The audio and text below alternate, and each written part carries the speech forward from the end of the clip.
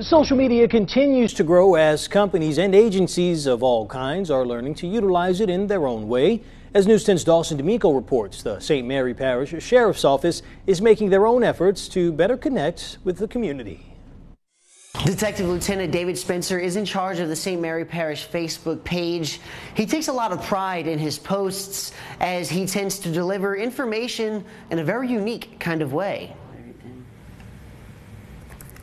Somebody came to me, one of my bosses came to me and said, Hey, I'm, I'm seeing some of these places use humor.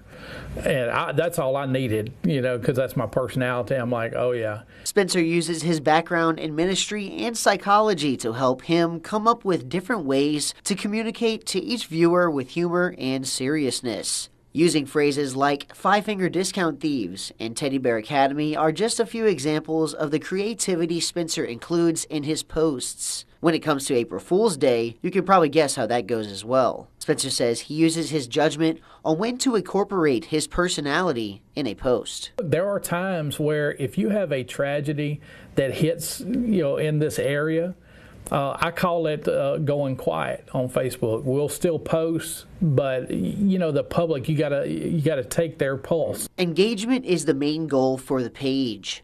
Spencer says if you can build up engagement, he can build up a following, which is great for everyone. If we if we make it fun and we make it interesting and creative, uh, we've found that we get more interactions and and look we're building that audience because there are times that we need our friends in the media and there are times we need our facebook uh, followers every once in a while somebody will say well it's not professional mm.